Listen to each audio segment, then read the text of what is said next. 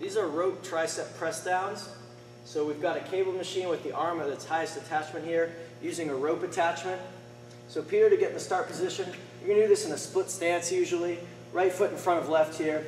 Now he's gonna bring his elbows down into his sides, and that's where they're gonna remain for the duration of this exercise here. So his elbows are bent, and all he's gonna do is extend his elbows, so his hands come down to his sides. His elbows aren't really gonna move as he performs this exercise, and everything else remains stable. So just a few general things on posture here. You know, obviously you want to have a nice neutral neck, anterior core braced as well.